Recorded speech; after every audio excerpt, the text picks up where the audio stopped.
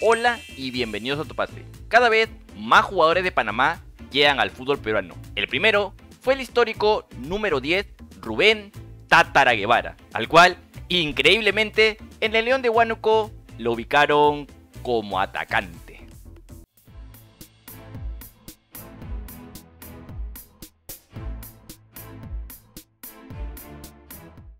Luis Carlos Tejada marcó un antes y un después en el torneo más duro. Tras sus excelentes actuaciones, llegaron panameños como cancha.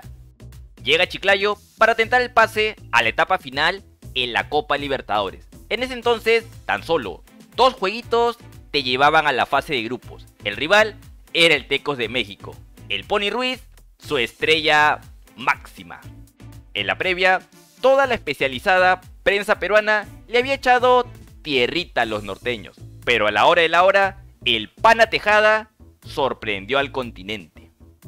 Victoria en casa con doblete del matador y un gol más que rompió el cero para el triunfo en México. Finalmente, los dirigidos por Luis Fernando Suárez cayeron en el grupo C, junto a Estudiantes de La Plata, Alianza Lima y el Bolívar.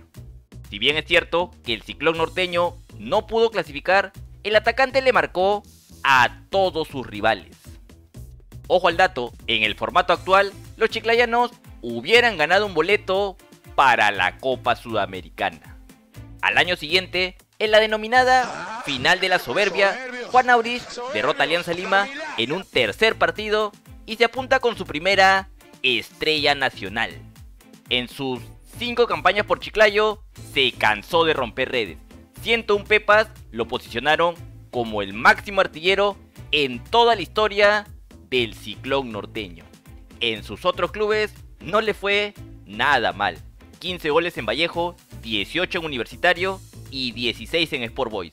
Cerró su ciclo en el 2019 con 6 anotaciones en el Pirata FC.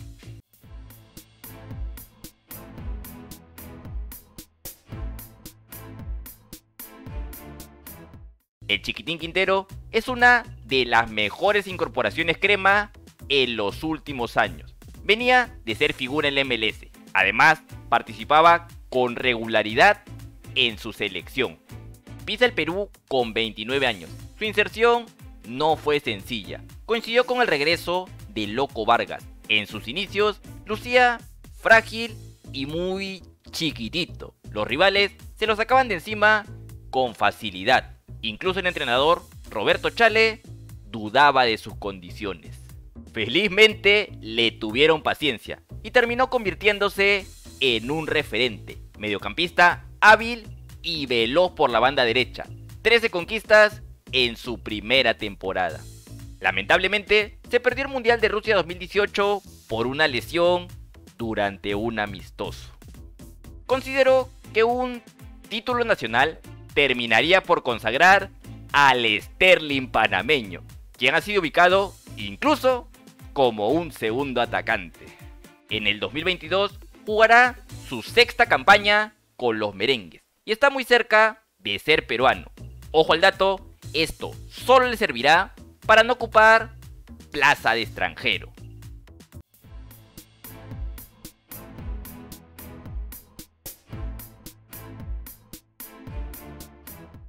Harold Cummins, defensa central que vino a sumar durante los mejores años del equipo chiclayano.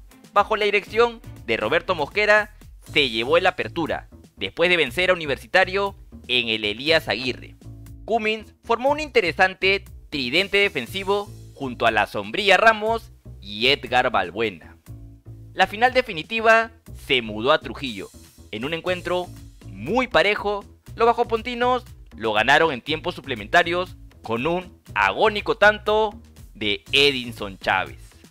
Al final del campeonato, Cummins fichó por el Independiente de Santa Fe, en donde levantó la Copa Sudamericana de la mano de Gerardo Peluso. Si bien este zaguero venía de jugar en el Árabe Unido de su país, tenía proyección, ya que había participado en el Mundial Sub-20 del 2011 y ya alternaba en la selección absoluta. En resumen, como nos hemos podido dar cuenta, en su momento, el club que más apostó por panameños fue el Juan Aurich, lo cual tiene sentido, ya que Tejada abrió el mercado.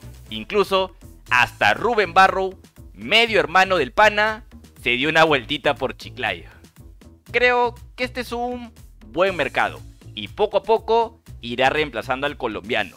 Por dos razones. Primero, son más baratos.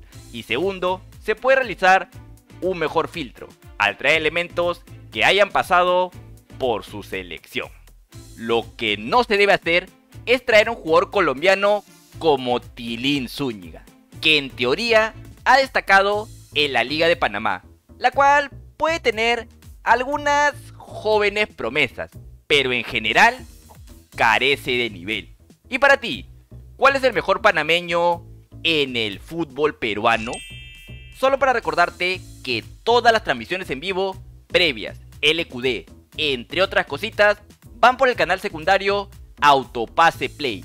Te dejo el enlace aquí abajito. Si te gustó el video, regálame un like, no olvides suscribirte, seguirme en mi cuenta de Instagram Autopase20, unirte al grupo de Discord y animarte a ver más contenido. Bueno, eso sería todo.